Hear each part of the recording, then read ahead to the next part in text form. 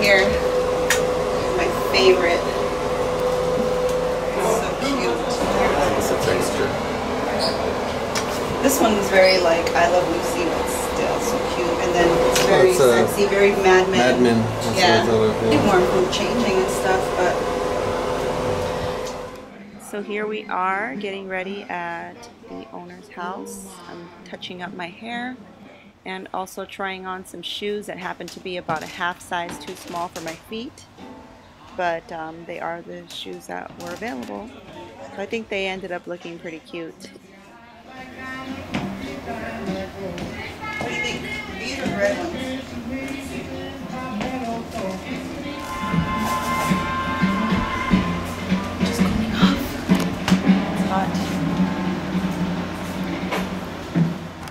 So we filmed up in some hills in the Los Angeles area and as you can imagine, yes, it was very, very, very, very, very, very hot. I was wearing a lot of dresses that were pretty thick but at the same time allowed a lot of breeze to flow through me so it wasn't too bad. But this dress, for example, was a size large and I am a size medium and so I had to wear a lot of pins and stuff like that. This next dress was one of my favorites as you heard in the beginning of the video and it fit me just right. I wish I could have taken it home with me but apparently it is not in production yet but it is coming soon and as soon as it arrives I will link it for you guys. But you know it was very form-fitting and it just cinched me in all the right places which I loved. And um, trying to pose while not allowing my heels to dig into the ground because that's what would happen. This next dress was also a little too big for me, so we had to pin it wherever possible, like around the waist and stuff like that. But um, here you can see them pinning it in the front for me a little bit because it did look a little baggy on me, and it was the only size available for the shoot. Then, of course, we had to move out of the way several times because there were cars passing by. This lady drove by and said, You guys look great, or something like that.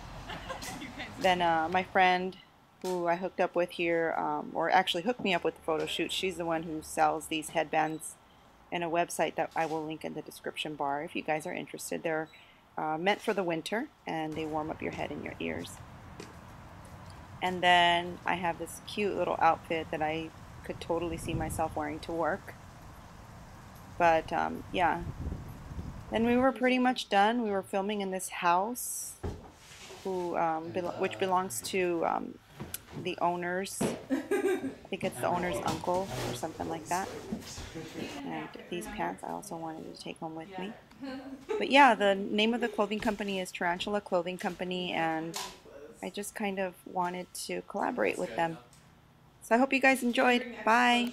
Oh, and I almost forgot. If you haven't seen my video on how I did my hair for this video or this uh, behind the scenes video, go ahead and click here or you can see the description bar.